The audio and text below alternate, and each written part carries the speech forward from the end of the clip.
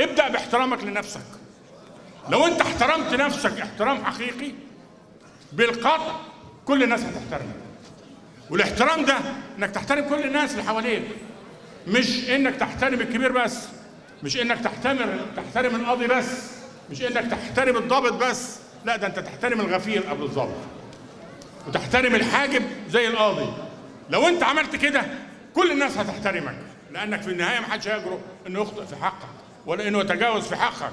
لكن أيضا وفي ذات وفي المقابل في المقابل ما ينفعش المحامي يتجاوز عن المسافة اللي بينه وبين الآخرين. المسافة في العلاقة. ما ينفعش الناس تركبك في العلاقة. ما ينفعش تشجع الناس إنها تتجاوز في حقك.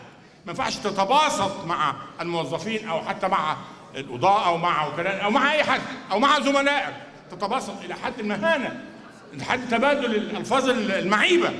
ده بيسقط هيبتك وبيسقط قيم- قيمتك وبيسقط وزنك في في المحاماة. وتيجي في النهاية تقول لي أصل أصل كاتب الجلسة شتمني. أصل الموظف ضربني. أصل الحاجب زقني. أنت اللي تهاونت في حقك من الأول. ولو حافظت على المسافة دي كل الناس هتحترمك وكل الناس هتقف عند حدها.